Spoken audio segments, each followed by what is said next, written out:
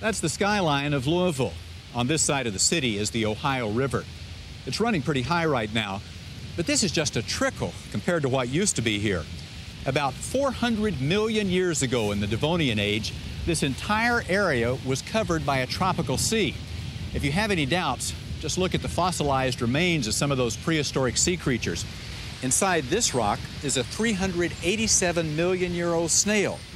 And this is a fossilized colonial coral head from the same period. Also in this area, you can find the remains of some of the mammals who came after the seas receded. This is the tooth of a woolly mammoth. It's a relative youngster, only about 12,000 years old. And now in some other parts of the world, there are new rare fossil finds that are electrifying the scientific community. They're unhatched dinosaur eggs. On the outside, they look like ordinary rocks, but inside are actual dinosaur embryos. Up next on Explorer Journal, we're going on assignment with National Geographic photographer Louis Psihoyos. His beat is dinosaurs. His mission, to crack the case for the prehistoric eggs.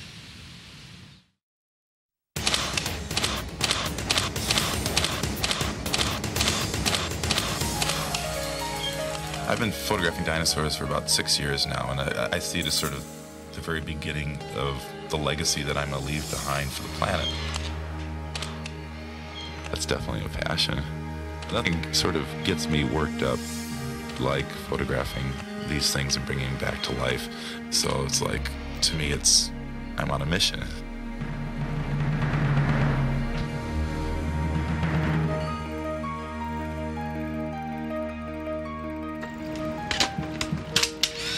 I'm Louis Psihoyos, and I'm about to head out on a story for National Geographic magazine on dinosaur eggs and babies. And this is just the beginning.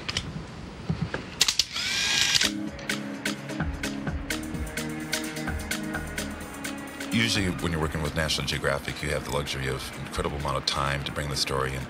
Uh, here, you need the pictures back in the office in about eight days. That means I have to go completely around the world at four countries, three continents, 24 time zones, and take seven masterpieces. Good question. I think it's 15. it's a pretty impossible job, but I told him I could do it. So um, there's a lot riding on this week. You've exceeded your uh, baggage a lot. Yeah, I've got my assistant, John Knoebber. He's been with me for 15 years. He's the only person on the planet I know that's crazy enough to come along with me. Around the world in eight days instead of 80. This is Captain Terry Millett. How time On moves. behalf of First Officer Ray Arena and the entire flight crew, it's my pleasure to welcome you on board our flight this morning. Dinosaur eggs have been around for a long time, but for the first time, we're seeing which dinosaurs belong to those eggs because now they're finding babies inside, and that's that's my story is to you know to go on the great dinosaur egg hunt and find these these babies that are popping up all over the world.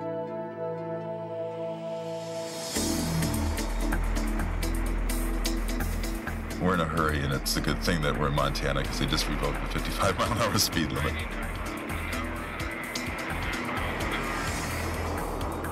Visit uh, Jack Horner in Bozeman, Montana. He's the guy that started it all. He's the first one to find dinosaur babies inside of eggs. Are these crushed or these? They're they're crushed. Yeah, from the other side. This is the downside. Doing a story on baby dinosaurs without photographing Jack Horner would be like doing a story about baseball without Babe Ruth, Yeah. or talking about rock and roll without talking about the Beatles. This was an un- Jack Horner was the man who started it all. What would it look like? Here's some of the baby stuff we found on there. He's the character that inspired the character in Jurassic Park. So every every couple of years, I'll stop by Jack's workshop to see what he's up to. And this is this is a hypacrosaur. So this is this is the same as the one we were looking at the CAT scan, huh? Except this is a nestling. Cute, isn't he? He's cute. He's cute. Cute. Cute. This is cute. That's good. I think I have uh, the quintessential shot here of Jack uh, looking like the proud father of a dinosaur.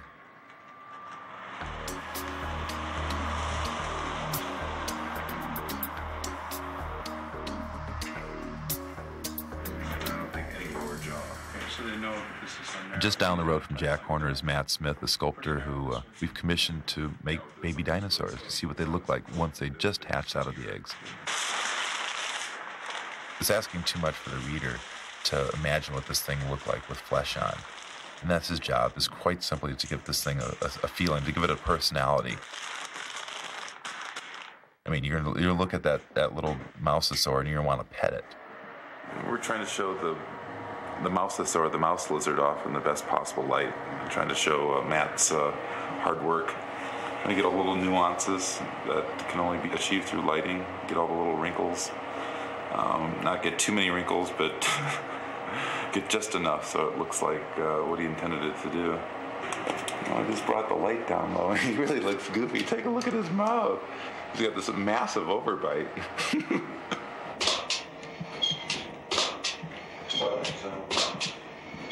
What else can I do it? What about scale? I don't think we need scale in this. Okay. I mean, what would we run for scale? You have a mouse. We have a mouse. Do you have a mouse? That's the only thing we don't have. No. I oh, have this a would be mouse great. skull. We need a, mou- a mouse skull. Is okay, but nobody will know what a mouse skull looks like. Is there a pet store around here? Yeah. In town? Yeah. Yeah, it's just right down the street. That way. I think a sense of humor is about the most important thing I can bring to a photograph. What the heck is that? That was good. If you can get somebody to laugh at something, you can get them engaged in the subject. Oh wow! Once you laugh at that mousosaur, people are going to want to go back and read the story, read the caption, find out more about it. But it's the humor that snagged them in the first place.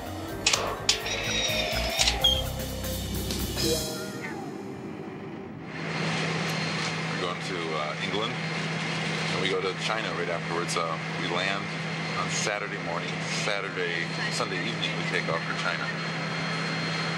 My passport is uh, absolutely full. There's not room for one more entry. The China visa was absolutely the last time I can go anywhere. there probably isn't a place to stamp it in England.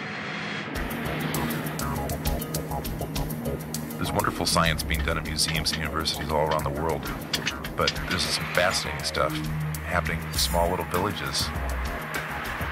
In Leicester, England, in this unassuming townhouse, Terry Manning is producing some of the finest science done by an individual. Terry, to me, sort of, in my mind, he conjures up all the images I have of a mad scientist. He's got these 50 embryos percolating in this mild acid solution up in his attic. What's inside are little tiny baby dinosaur embryos. It's like a little time capsule of what a baby dinosaur would look like exactly. This is wild. What do you think, Louis?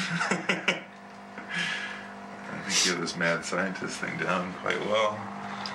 This is great. It's a three day cycle, and over that three day period, you'll etch away about two thousandths of an inch. So it's a, it's a, it's a very, very slow Two process. thousandth of an inch every three days. Every three days. So, So uh, how long will an egg take to uh, dissolve? um, to take the rock away that we want to take away, um, it'll take most probably six to nine months. First of all, he's got the most amazing eggs in the world. They've been called better specimens than Archaeopteryx. Then we find out that he has egg yolk. Now I just find out he, he, he thinks he has dinosaur skin. And uh, it's 1.30 and Terry has to go bowling at 8 o'clock. So we're, uh, we're under the gun here to try to get some good stuff in a very short amount of time. It's a little scary. Um, is it the right way?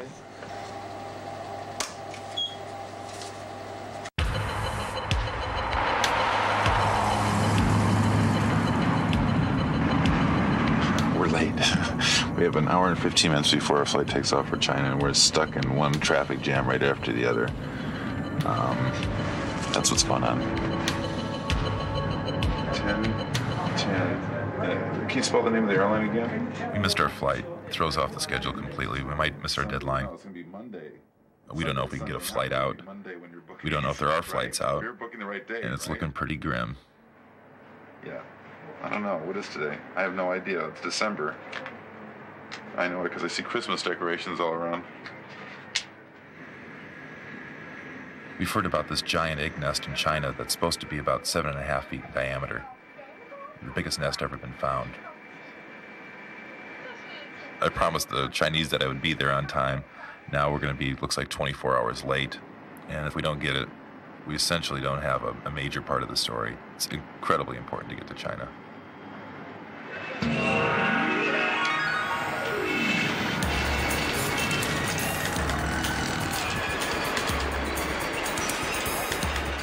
We finally got here. We're in Henan province in central China.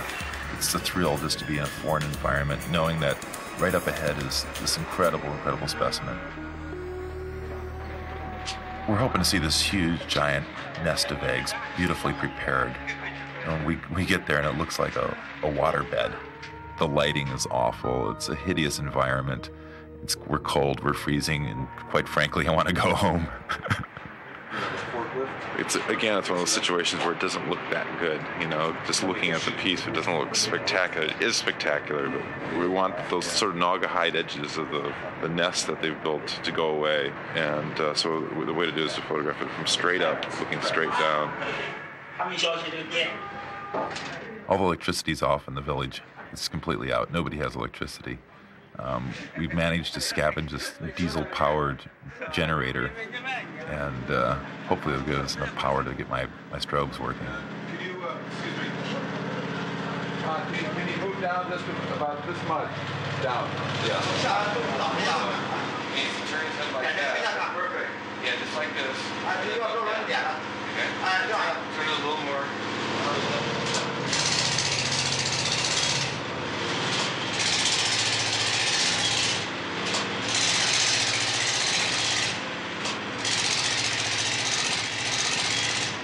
Things were going well, probably too well.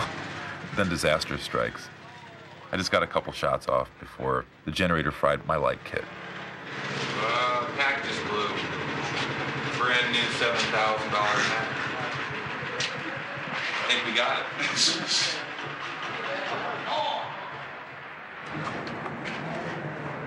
It's actually kind of pretty.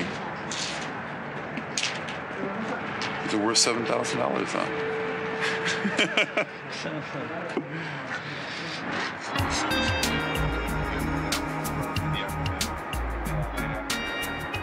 Forty-eight hours later, we're back on a plane. In the meantime, I have to get new lights because I can't photograph without lights. Yeah, I think we're pushing 500,000 miles at this point. We accumulated all of our miles together, maybe more. All for the love of old dead things. Luck has followed us to Canada. We've arrived on the coldest day of the year through a raging blizzard. The whole trip has just become a series of pictures right now. I'm just thinking about I have six done and I have one more to go. Like the Terminator, sort of.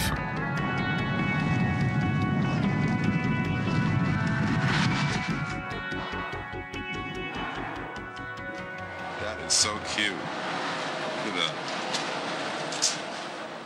Brian Cooley is as passionate as anybody I've ever met about the subject of dinosaurs. He is a person that's able to get into a dinosaur skeleton and flesh it out like nobody I've ever seen before. Because these aren't precious, okay? I can make another egg. Oh, really? So don't sweat it. If I had to imagine what a baby dinosaur embryo would look like, Brian's done it. This is it. I mean, he's really created here my vision of what a dinosaur would look like. You can almost hear the thing breathing as you look at it.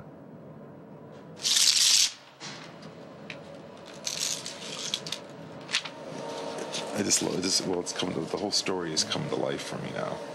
I mean, all of a sudden, those beautiful eggs that are wonderful just the way they are. Now you have the shot right next to it where it just comes to life. It's like the last piece of the puzzle is found. You know, when you're doing the jigsaw puzzle, the thousand piece jigsaw puzzle. Finally, you get the chance to see what it looks like.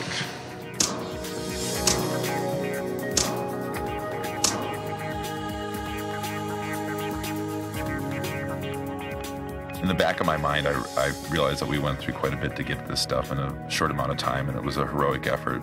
The readers of the magazine will never notice that, nor I don't think they should care about that. But it is a great satisfaction to actually see the work published.